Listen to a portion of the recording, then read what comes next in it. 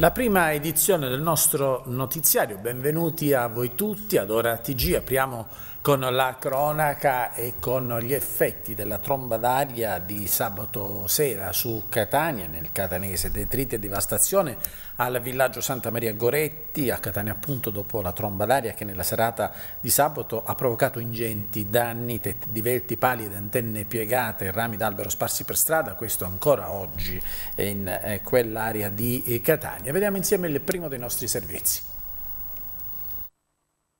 Squadre al lavoro stamattina nel villaggio Santa Maria Goretti di Catania per tagliare le cime più alte degli alberi ed eliminare tutti i fusti finiti in strada dopo il tornado di sabato sera tutto intorno detriti di ogni genere e sconforto della popolazione, che ha visto volare via tegole e tettoie, con ingenti danni alle abitazioni, attimi di paura difficili da cancellare e la speranza adesso che le istituzioni predispongano interventi decisi per le necessarie riparazioni. Stiamo tutti mobilitandoci per eh, riparare il tetto, riprendere quel, quello che si può riprendere e poi si pensano anche alle auto distrutte, ai mezzi distrutti, perché comunque è stato devastante, è stato difficile anche rendersi conto di quello che è successo giorno per giorno, escono sempre più, più cose da sistemare, vengono fuori sempre più parti della casa danneggiate come gli infissi, le finestre, eh, la stessa muratura, il stesso esterno della casa in buone parti è saltata in alcuni punti, c'è chi ha avuto più danno, c'è chi meno,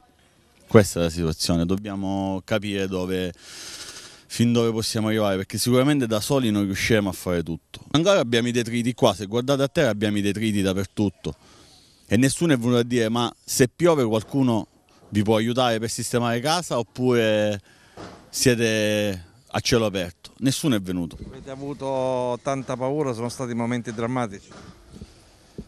È difficile descriverlo, almeno non ho abbastanza cultura per descrivere ciò che ho provato in quei momenti. È totale impotenza, è certezza dell'incapacità di poter fare qualsiasi cosa in quei momenti, perché sei, sei all'interno di un qualcosa che non, non riesci a comprendere ma ti dà soltanto tanta paura. Quali sono gli interventi che avete predisposto? E stamattina un ulteriore incontro con il vice sindaco eh, abbiamo determinato, come giustamente concordato con il Presidente della Regione, di eh, fare un avviso innanzitutto con un numero di telefono e un'email dove tutti i, coloro che hanno avuto danni privati ed aziende potranno trasmettere eh, eh, dati anagrafici, eh, ubicazione soprattutto nome dell'azienda in modo tale che possiamo anche avere una, una idea di quello che chiaramente sono eh, un, un, quadro chiaro delle aziende e dei privati colpiti.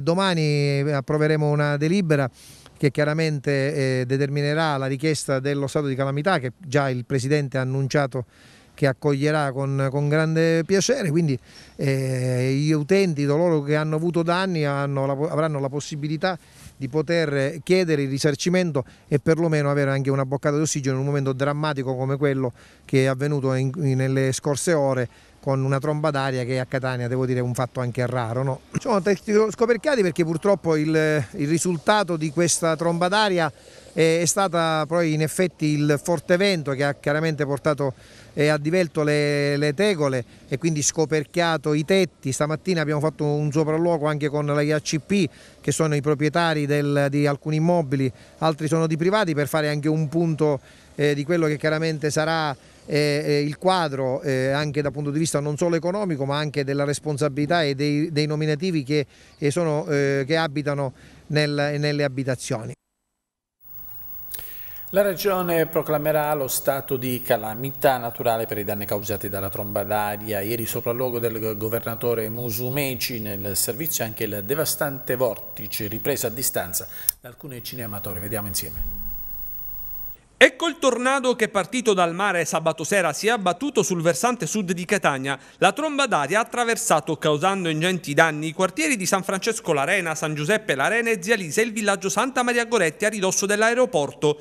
Tetti scoperchiati, alberi sradicati e capannoni rasi al suolo, carrelli dello scalo di Fontana Rossa trovati a centinaia di metri di distanza, spazzati via dalla forza devastante del turbine. Sui luoghi colpiti si è recato per un sopralluogo nel pomeriggio di ieri il presidente della regione siciliana Chiana, Nello Musumeci, assieme a lui il capo della protezione civile regionale Salvo Cocina, il vice sindaco di Catania Roberto Bonaccorsi, il comandante dei vigili del fuoco Giuseppe Verme e il responsabile del corpo forestale della regione Luca Ferlito. Il maltempo ha colpito anche le province di Palermo e Ragusa, ma le conseguenze più gravi si sono avute nella periferia del capoluogo etneo, annunciata la proclamazione dello stato di calamità. Dobbiamo intanto procedere alla verifica e alla ricognizione dei danni. Sono danni a civili abitazioni, danni ad aziende e, e danni a infrastrutture. Questo è un compito che svolgerà la protezione civile regionale in collaborazione con quella del comune di Catania e con eh, i vigili del fuoco. Subito dopo procederemo ad una uh, verifica dei, degli interventi immediati da eseguire, soprattutto nelle abitazioni, per evitare disagi ai cittadini. Una stima dei danni molto, molto eh, approssimativa, almeno nella fase iniziale, e intanto la giunta di governo eh, adotta la delibera per richiedere lo stato di emergenza dopo aver dichiarato lo stato di calamità.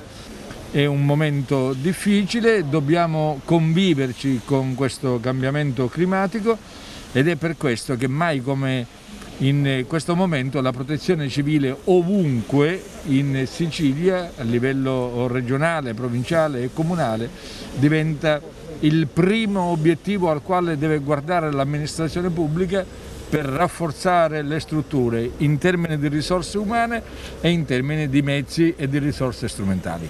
Vigili del fuoco, uomini della protezione civile e operatori comunali al lavoro incessantemente. Già ieri sera rimossa parte dei detriti che occupavano le strade ed eliminate le condizioni di pericolo accentuate dalla caduta dei rami degli alberi. Analoghi interventi sono stati compiuti al cimitero, oggi riaperto regolarmente al pubblico. È stato un momento di tensione perché la prima cosa che ci siamo preoccupati, visto un po' le conseguenze che c'erano in atto, se c'erano persone coinvolte. Fortunatamente questo non è successo, quindi poi ci siamo cominciati ad attivare per eh, cominciare a togliere tutte le situazioni di potenziale pericolo.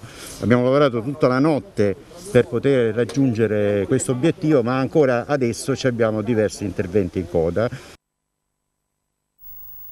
Da Catania ci spostiamo adesso a Giarra e rimaniamo dunque sempre nella provincia etnea. Il racconto drammatico nel servizio che segue di una residente della palazzina di via Rovettazzo dove sabato è crollato un balcone sotto la furia dell'acqua e del vento. La palazzina è inagibile, 21 persone sono state alloggiate in albergo. La donna con le lacrime agli occhi alle nostre telecamere dice ci siamo sentiti persi. I panni ancora stesi ad asciugare, il balcone al secondo piano di questa palazzina, siamo in via Rovettazzo, a Giarre ribaltato a terra i resti del parapetto, appartamenti disabitati ma ancora da svuotare dopo il crollo avvenuto sabato. Durante il violento nubifragio che si è abbattuto sulla Sicilia interessando anche questa contrada su cui insistono diversi alloggi popolari. Il nastro transennante vieta il passaggio, l'edificio dichiarato inagibile dei pilastri. È rimasto il ferro ed è così da molti anni. Il portico d'ingresso è avvallato, questa pancia potrebbe collassare da un momento all'altro. 21 persone sono state allontanate, spostate in albergo. Il rischio di una strage è troppo elevato. Stamattina in fretta Luisa Caramma insieme al figlio ha raccolto i pochi indumenti, lo stretto necessario, ci racconta con gli occhi lucidi quegli attimi di terrore. Lei era al piano superiore, solo per un miracolo non ci sono state vittime. A casa era messa nel letto e all'improvviso mi sono sentita tremare il letto. Pensavo che, sarebbe, che era una scossa di terremoto invece non lo era perché abbiamo sentito le urla di tutto il palazzino e abbiamo verificato che mancava il balcone. E quindi praticamente la situazione è questa, ci ritroviamo dal nulla ad avere tutto a non avere niente. Sabato sono venuti i vigili del fuoco, vi hanno detto che il palazzo è inagibile, dovete andare via, oggi state raccogliendo le cose più importanti, ma avete una vita dentro la vostra casa? Sì, sono venuti i vigili i vigili del fuoco, dove anche loro hanno ammesso che loro stessi hanno fatto quattro segnalazioni per queste palazzine. Quattro, trascurati come se fossimo animali. come se, se solo chi che pagasse av- avrebbe la necessità di poter vivere. Io ora dico una cosa, gli extracomunitari io non ce l'ho con loro, però non è giusto che a noi ci trattano da schiavi, da, da, da persone, da animali, perché a noi non ci danno nessun aiuto. Non li portano in questi alloggi popolari, li portano negli alberghi, hanno tutto pagato, non hanno pensiero di pranzo, di cena, di luce e in più gli danno anche i soldi. E noi siamo trascurati così. Io finora non posso dire niente sul sindaco perché ci ha, ci ha dato un tetto sulle spalle, quindi non posso dire non ci stanno aiutando. Io parlo per gli alloggi, per l'Istituto Case Popolari, perché se sarebbero intervenuti prima. Oggi non eravamo qua, oggi eravamo ognuno nella nostra casa. Io ora non so, rischio, dopo anni e anni di sacrifici, mobili, camere da letto, camere per i bambini, elettrodomestici, io non lo so più se me li posso andare a prendere. Non lo so più e non ci rassicurano di niente tutto questo. Io oggi ho rischiato, sì, ho rischiato, ho venuto a prendere il necessario perché se mi danno una casa vuota io che cosa ci devo mettere che non abbiamo nel tavolino, nel frigorifero, niente. Non vi hanno detto vi aiutiamo a fare un trasloco, a, No. a portare i mobili da qualche no, no, parte? per il momento ancora loro devono darci comunicazioni. Nell'attesa siete in un albergo Sì, di siamo Mascali. in un albergo, l'albergo alle cose principali, diciamo, essenziali, il letto, il frigorifero, va bene così. Dalle cose che ci racconta è un miracolo che non ci siano Sì. stati morti. Sì, è un miracolo, ma però se c'era la tragedia, era una tragedia già annunciata, avvisata. Questo, questo qua già poteva succedere di tutto, ci stanno bambini sotto, bambi- Sono bambini, due persone disabili. due, due persone disabili, cioè poteva succedere di tutto, le, le- le persone qua, cioè quel giorno ci ha salvato il, il brutto tempo. Il brutto tempo perché eravamo tutti in casa, perché quel signore quel giorno del secondo piano crollava con tutto il balcone. Perché solitamente lui si Sì. mette in balcone, la Sì. persona del secondo piano. Sì, solitamente sì. Visto proprio il balcone è ribaltato. Sì, è atroce. Io ora sto combattendo contro me stessa, ma mi sento morire dentro. Continuiamo con la cronaca ma di altro genere. Cadavere di un uomo oh, carbonizzato è stato rinvenuto nella tarda mattinata di oggi in via Giusti a Gravina di Catania, sul posto i carabinieri della locale eh, compagnia. Un incendio nel cuore della notte ha seriamente danneggiato la chiesa Santa Maria del Rosario a Catania. Il rogo, dovuto probabilmente ad un cortocircuito, ha distrutto la statua della Madonna posta sull'altare centrale e annerito la cappella e le zone circostanti. Scoramento. Tra i fedeli, vediamo.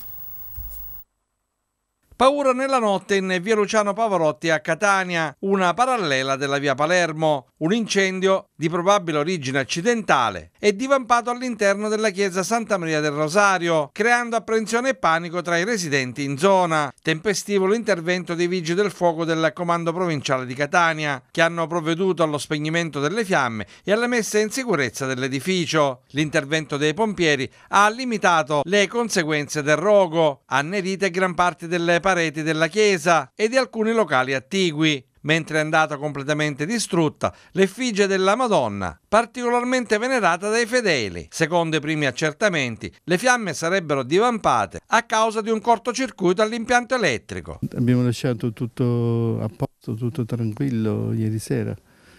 Quando sono andato via verso le sette e mezza, otto, era tutto tranquillo e stanotte invece il fuoco ha distrutto molte cose importanti della chiesa.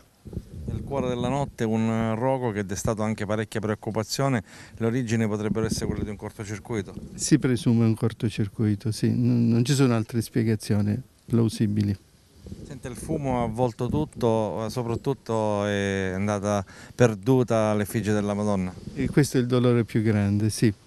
Questa effigie della Madonna del Rosario, questo simulacro che è stato venerato per più di cento anni dai fedeli di questo quartiere e anche da altre persone, è andato in modo irrimediabile distrutto. I danni sono ingenti. Sì, i danni sono ingenti. C'è anche un danno eh, morale, la ferita nel cuore di, di tanti parrocchiani che hanno purtroppo eh, questo dolore di non poter entrare nella chiesa e non poter più vedere la dolce immagine della Madonna del Rosario. Adesso la comunità vuole subito ripartire, vi siete già dati da fare allestendo anche una postazione di fortuna per dire messa. Sì, abbiamo, stiamo utilizzando il salone parrocchiale che è di rimpetto alla chiesa che non è stato intaccato dal fuoco per utilizzare la, questo spazio per la celebrazione eucaristica. E devo dire anche la nostra cappella dell'adorazione perpetua che, che, è fuori dalla chiesa ma è incorpata nel locale della chiesa continua ad essere agibile dal mattino delle 6 fino alla sera eh, prima del coprifuoco. La speranza è che adesso si possa velocizzare un intervento di ripristino eh, di quanto è annerito. Sì, c'è, il danno anche del, del, fumo che ha annerito eh, le pareti del, del locale parrocchiale anche se non sono state intaccate dal fuoco, però sono intaccate dal nero fumo che li ha danneggiati. Cronaca ma di altro genere. Adesso, torniamo a Giarre, si arrampicava per portare a compimento i furti in appartamento, arrestato dai carabinieri della locale compagnia. Un ladro già etichettato come Spider-Man, vediamo. A tradirli sono state le telecamere di videosorveglianza su via Teocrito e su via Gentile a Giarre, dove la notte scorsa i carabinieri del nucleo radiomobile della locale compagnia hanno colto sul fatto Spider-Man, 31 anni, noto per la sua abilità nell'arrampicarsi sui palazzi, e un suo complice, un 26enne. I due prima erano stati notati in questa stradina del centro storico. Avevano provato a scardinare l'ingresso di un'abitazione, ma forse per il timore timore di essere scoperti hanno spostato il loro obiettivo qualche centinaio di metri più in là. Proprio su questa via che costeggia il Teatro Nuovo Comunale, chiuso da anni, i militari li hanno beccati al primo piano di una palazzina dove già Spider-Man era riuscito ad arrampicarsi. I carabinieri giunti sul posto grazie anche a una segnalazione pervenuta al 112, il numero unico per le emergenze, hanno prima ammanettato e bloccato il suo complice per poi pizzicare il criminale mentre era ancora intento a rovistare dentro i cassetti della camera da letto di questa casa. Gli arrestati in attesa del giudizio per direttissima sono stati trattenuti in camera di sicurezza. Hanno preso il via le operazioni di recupero del materiale abbandonato nel fondale del porticciolo di Ognina a Catania, tra materiale feroso e pneumatici, anche una moto di grossa cilindrata, scoperte però nel fondale pure carcasse di autovetture. Hanno preso il via stamani le operazioni di recupero delle svariate tonnellate di materiale abbandonato nei fondali del porticciolo di Ognina a Catania. Le attività di pulizia coordinate dal genio civile e affidate ad un'impresa specializzata andranno avanti per tutta la settimana. In poche ore rinvenute diverse tonnellate di rifiuti, compresa questa moto presumibilmente rubata. I sub che hanno perlustrato lo specchio di mare del porticciolo hanno ritrovato semisommerse dal terriccio del fondale anche due auto e relitti di vecchie imbarcazioni colate a picco nel corso degli anni che compromettono le manovre aree di approdo dei grossi pescherecci e dei diportisti ormeggiati nei pontili privati. A destare scalpore il numero eccessivo di pneumatici e materiale ferroso ritrovati sul fondo e recuperati in tutta l'area portuale dai sommozzatori nel sito di grande interesse turistico-culturale riferimento della marineria locale. Le manovre di recupero limitate alla sola zona del molo di Levante con l'ausilio di un questo braccio meccanico la cui manovrabilità è limitata a pochi metri dallo specchio di mare interessato sono state disposte dall'assessore regionale alle infrastrutture Marco Falcone dopo l'attività di sensibilizzazione sensibilizzazione promossa da un gruppo di sub che lo scorso 9 settembre effettuarono un'immersione di recupero di altro materiale che da anni giaceva sul fondale. Il porticciolo di Ognina è destinatario di un finanziamento di dragaggio e pulizia complessiva del fondale in cui l'accumulo di sabbia trascinata dalle correnti marine nel corso dei decenni ha ridotto considerevolmente la capacità di navigazione in tutta l'area portuale. Abbiamo trovato già motociclette, batterie, c'è un relitto di un'autovettura che dovremo vedere come poter anche togliere togliere più altro residuati di pesca, più che altro lenzi, cime, pneumatici. Corde, per pneumatici a non finire, Stiamo perlustrando proprio questo, stiamo cercando di capire intanto la quantità e la diversità del materiale che c'è sul fondo. Da lì poi organizzeremo tutti i lavori. Compromette la navigazione anche una vecchia imbarcazione che sarà un... più complicato andarla a recuperare? C'è un'imbarcazione soprattutto che in questo momento si trova proprio al centro materialmente, lì vedremo come intervenire perché è un mezzo anche sequestrato, quindi con problematiche di natura anche giudiziaria. Nel limite del possibile, come lavori diciamo, di somma urgenza, stiamo cercando di, di, togliere quello che è possibile. Il ritrovamento di questa moto risultata rubata ha richiamato l'attenzione della Polizia di Stato che ha recuperato i numeri del telaio del mezzo a due ruote per risalire al proprietario a possibili azioni delittuose. Più complicato il recupero delle due auto adagiatesi ad una profondità di circa 5 metri, così come il relitto di un'imbarcazione di 8 metri circa e della più impegnativa barca a vela di 16 metri, sequestrata anni fa dalla magistratura con un carico di droga a bordo e affondata per incuria. A seguire le operazioni di recupero anche l'assessore al mare del comune di Catania, Michele Cristaldi, e il capogruppo di Forza Italia a Palazzo degli Elefanti, Giovanni Petralia. E a seguito di una segnalazione fatta dal gruppo consiliare a Catania di Forza Italia e quindi di conseguenza dall'assessorato al mare del comune di Catania, la regione si è fatta trovare pronto per questa pulizia straordinaria che da quasi 30 anni non veniva fatta nel fondale del porticciolo di Ogna. Dalle, prime ore di lavoro si capisce eh, come purtroppo abbiamo a che fare con un'inciviltà diffusa, eh, considerando il mare quasi una discarica. A settembre, grazie all'opera di alcuni subvolontari, avevamo acceso i riflettori sul caso relativo al porticciolo di Ognina.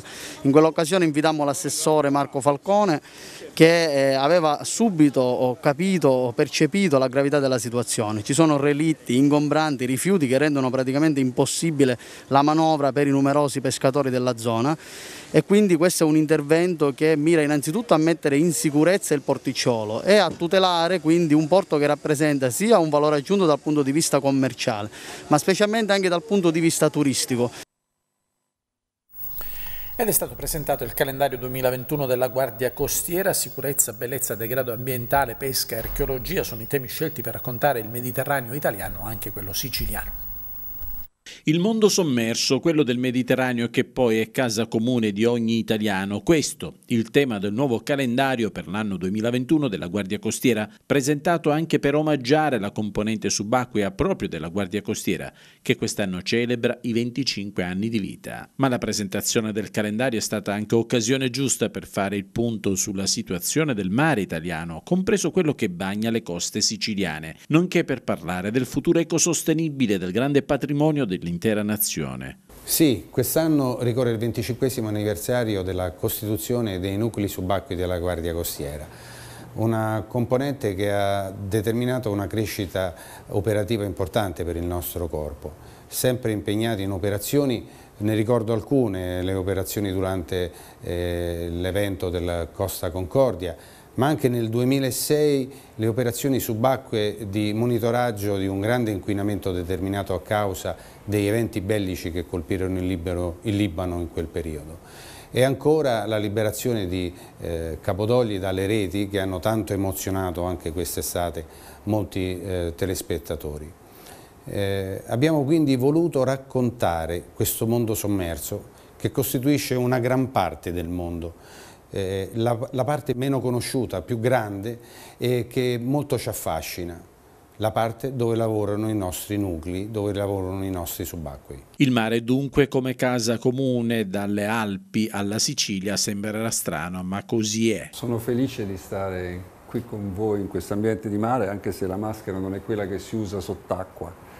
Devo dire che la prima volta che, quando l'ammiraglio Pettorino mi ha chiesto di fare il calendario del 2021, io sono stato lusingato, mi ho detto grazie ammiraglio, però non me la sento, sono 30 anni che faccio calendari e mentre all'inizio facevo lo slalom tra i pesci, oggi faccio lo slalom tra i rifiuti, quindi forse no. Poi però ho pensato perché si fanno le fotografie?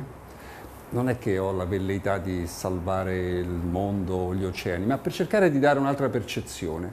E allora questo calendario non era destinato ai miei amici o a un pubblico qualsiasi, ma ai padroni di casa del mare, ai più grandi conoscitori del Mediterraneo, agli opinion leader.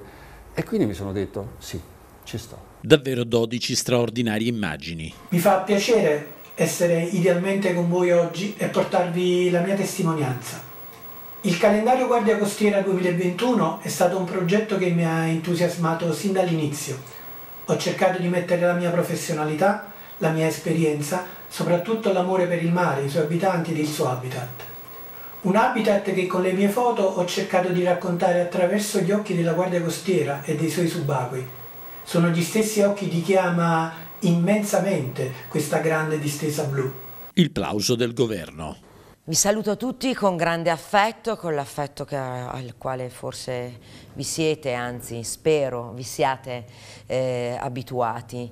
Eh, Quest'anno ci tocca presentare questo splendido calendario, forse il più bello eh, della recente storia della Guardia Costiera, purtroppo da remoto, perché questa pandemia ci impedisce di vederci, di stare vicini, di stare insieme.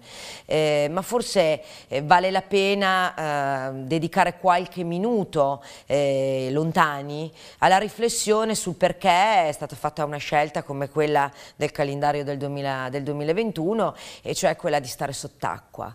Eh, qui sott'acqua c'è tanto, molto eh, del cuore, della ragione stessa dell'esistenza della Guardia Costiera nel nostro paese.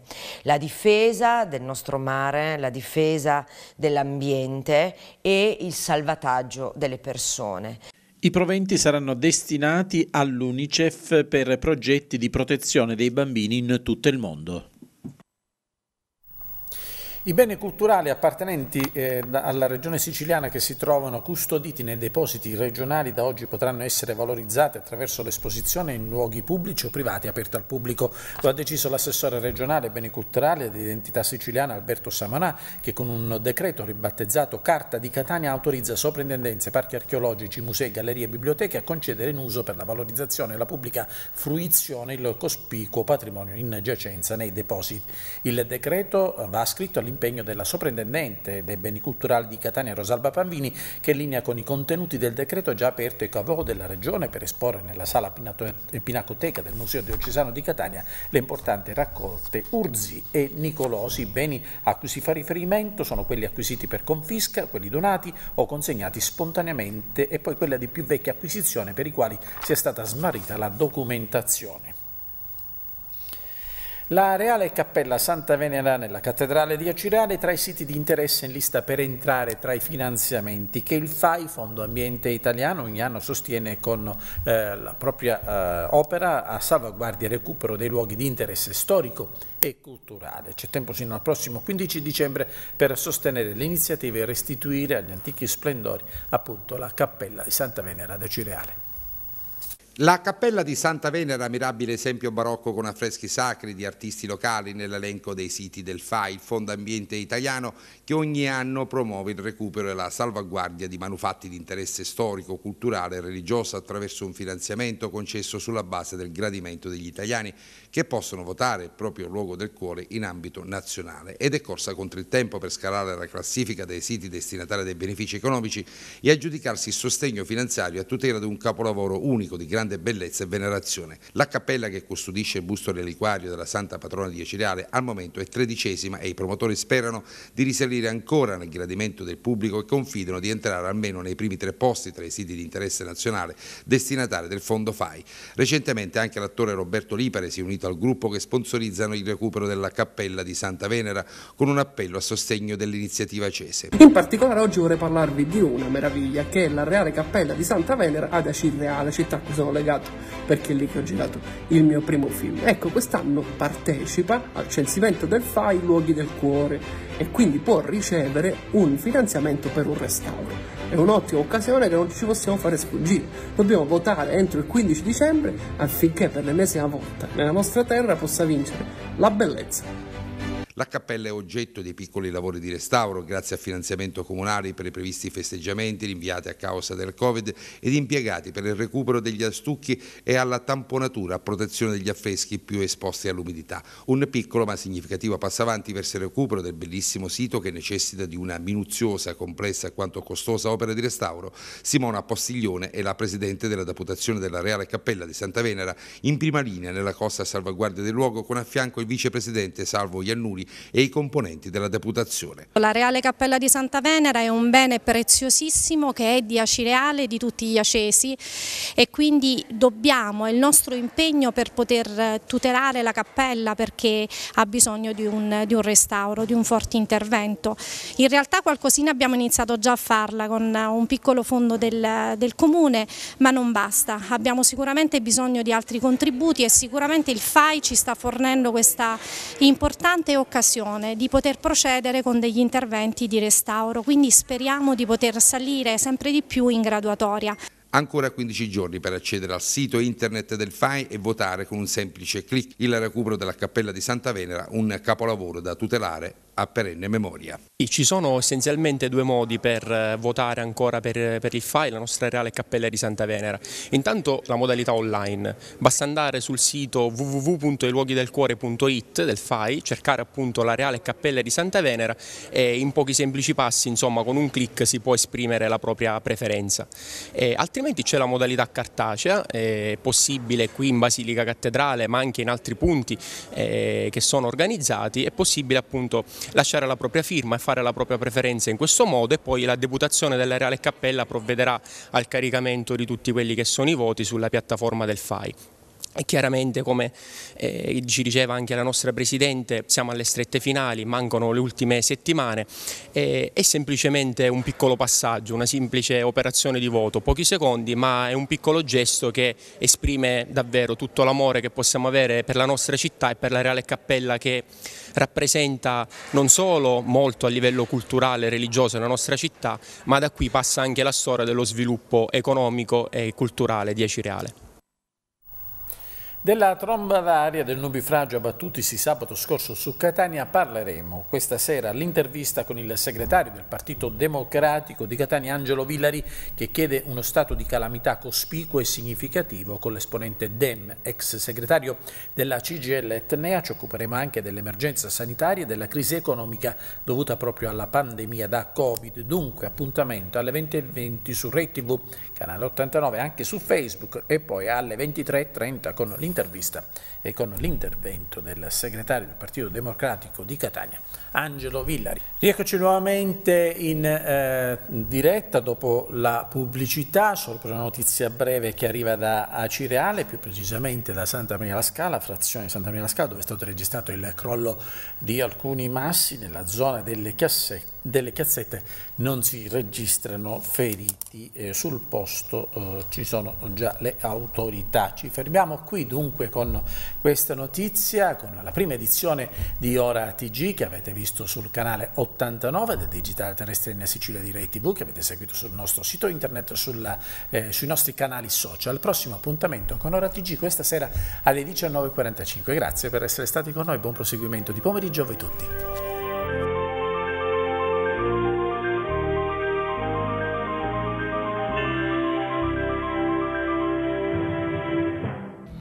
Le previsioni meteorologiche in Sicilia per la giornata di domani, martedì 1 dicembre, nell'isola cielo sereno variabile in tutta la regione, irregolarmente nuvoloso nella parte messinese dell'isola. I venti saranno deboli da occidente con rinforzi lungo le coste ioniche, i mari poco mossi, quasi calmi. Le temperature saranno stazionarie su tutta la nostra regione, 19 gradi a Catania e Siracusa, poi 18 a Palermo, Messina e Agrigento. La temperatura più bassa è a 2 gradi centigradi.